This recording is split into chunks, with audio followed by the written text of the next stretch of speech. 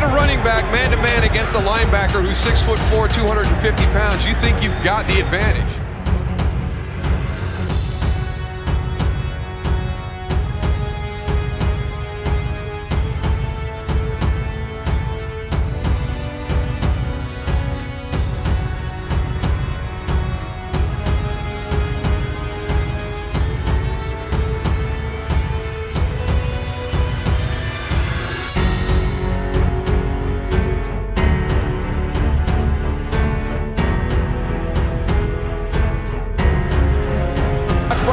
Brian 54, come in and rip that ball out of there.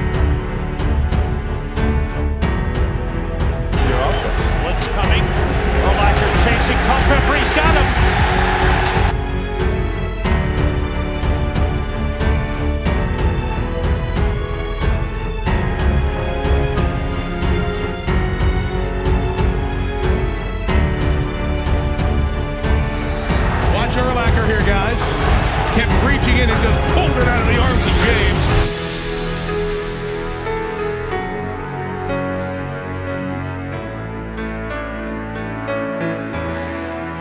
He did. He's everywhere, isn't he? He really is. Throws up the middle of the field.